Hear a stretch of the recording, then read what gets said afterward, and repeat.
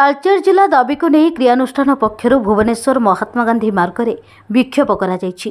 ସ୍ୱର୍ଗତ ବିଜୁ ପଟ୍ଟନାୟକ ଘୋଷଣା କରିଥିଲେ ଓଡ଼ିଶାର ଏକତିରିଶତମ ଜିଲ୍ଲା ତାଳଚେର ହେବ ବୋଲି କିନ୍ତୁ ଦୁଃଖର ବିଷୟ ଆଜି ପର୍ଯ୍ୟନ୍ତ ଜିଲ୍ଲା ହେଲା ନାହିଁ ଫଳରେ ଆମେ ଶାନ୍ତିପୂର୍ଣ୍ଣ ଭାବେ ଧାରଣାରେ ବସିଛୁ ବୋଲି କ୍ରିୟାନୁଷ୍ଠାନ ସଦସ୍ୟମାନେ କହିଥିଲେ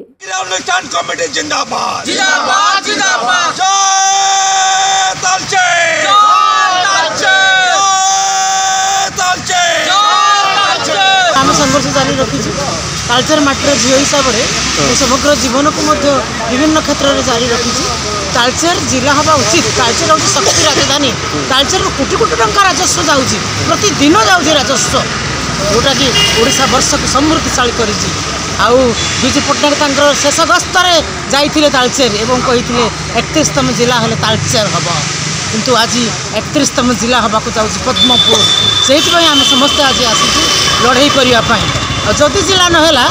আমি তালচের সম্পূর্ণ কইলা বন্ধ কর দেব আর লাইট মধ্যে আলোক ফিজলি আলোক মধ্যে বন্ধ কর দেব ওড়িশা 92 তেলে পারে বিজু বাবু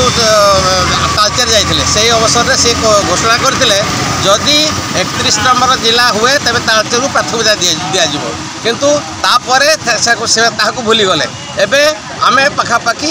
ତିନିଶହ ଛଅଷଠି ଦିନ ହେଲା ଆମେ ଧାରଣାରତ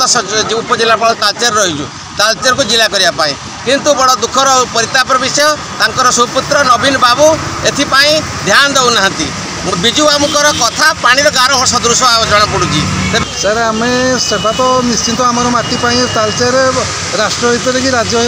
ଭିତରେ ତାଲଚେରବାସୀଙ୍କର ଅବଦାନ ବହୁତ ଅଛି କାରଣ ଏଠି ଆମର ରାଜସ୍ୱ ରାଜ୍ୟ ସରକାର ହେଉ କେନ୍ଦ୍ର ସରକାର ହେଉ ସର୍ବୋଚ୍ଚ ରାଜସ୍ୱ ତାଲଚେର ଆଣୁଛନ୍ତି ଜିଲ୍ଲା କ୍ଷେତ୍ରରେ ବି ଆମେ ବିଗତ ଦିନରେ ରାଜନୈତିକ କୁଚକ୍ରାନ୍ତର ଶିକାର ହେଇଥିଲୁ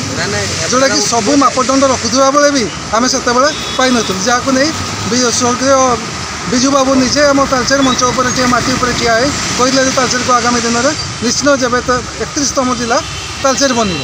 କିନ୍ତୁ ତାପରେ ଯେତେବେଳେ ଶୁଣାଗଲେ ଯେହେତୁ ଇଲେକ୍ସନ୍ ବେଳେ ଆମର ପଦମ ପଦମପୁରକୁ ଜିଲ୍ଲା ବନେଇବା ପାଇଁ ନବୀନ ବାବୁ ଇଏ କଲେ ଏବେ ବି ଜାଗା ଚିହ୍ନଟ କଲେଣି ତ ଆମେ ସେତେବେଳେ ଭାବିଲୁ ତେଣୁ ବର୍ଷେ ହେଲା ଆମେ ବି ସଂଘର୍ଷ ଜାରି ରଖିଛୁ ଆମର ସମସ୍ତ ପାଲହଡ଼ା ଆଉ ତାଲଚେର ଯେତେ ପୌରାଧିକାରୀ ଆମର ପଞ୍ଚାୟତରାଜ ବ୍ୟବସ୍ଥାରେ ସମସ୍ତ ସଦସ୍ୟ ଜିଲ୍ଲା ମାନେ ଜିଲ୍ଲାପାଳଙ୍କ ଜରିଆରେ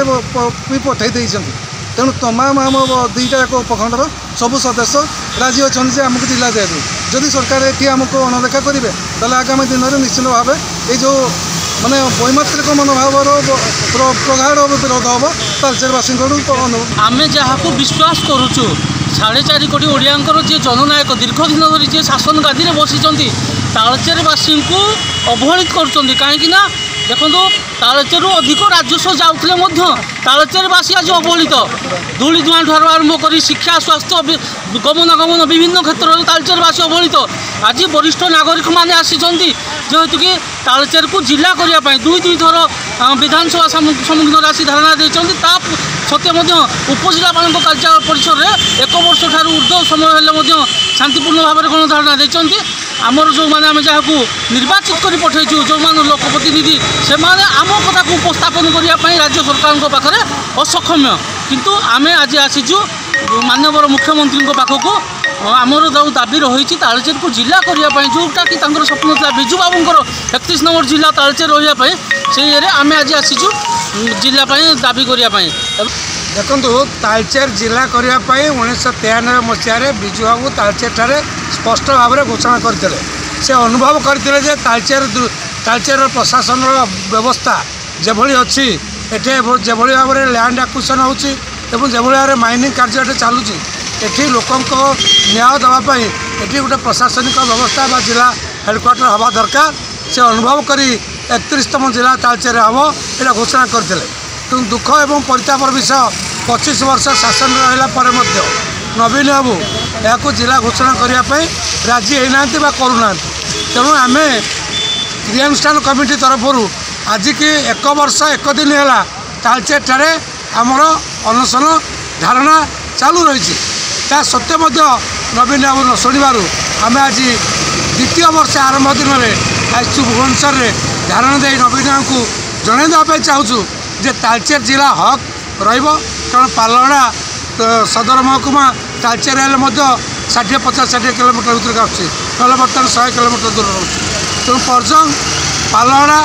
ଏବଂ ତାଳଚେରକୁ ନେଇକିରି ସ୍ୱତନ୍ତ୍ର ଜିଲ୍ଲା କରିବା ଯେଉଁ ଆମ ଦାବି ଏଇଟା ନ୍ୟାର୍ଯ୍ୟ ଦାବି ନହେଲେ ସରକାର ଶୀଘ୍ର ମାନି ନେବା ଉଚିତ ହେବ ନହେଲେ ତାଳଚେରବାସୀ ଉତ୍କ୍ଷିପ୍ତ ହୋଇ ନିଶ୍ଚିତ ରୂପେ ସରକାରଙ୍କୁ ବିରୋଧ କରିବା ପାଇଁ ବାଧ୍ୟ ହେବେ ଭୁବନେଶ୍ୱରରୁ ବିଶ୍ୱଜିତ ଦାସଙ୍କ ରିପୋର୍ଟ